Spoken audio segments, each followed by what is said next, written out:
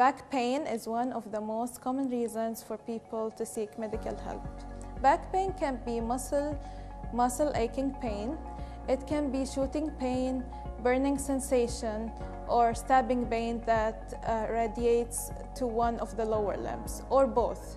And it's, it's often associated with numbness, uh, tingling, and burning sensation. Back pain can change with changing positions. Sometimes it can change with bending, with sleeping, or with walking. It can often get worse or get better. Uh, there are various causes of back pain. It, it can be caused by muscle or ligament strain caused by a repetitive movement like heavy lifting or repetitive lifting.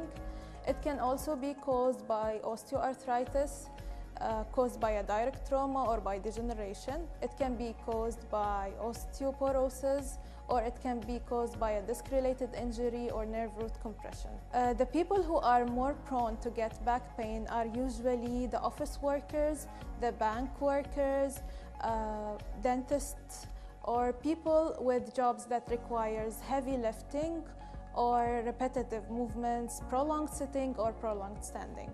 Physical therapy has a significant role in reducing and modulating back pain.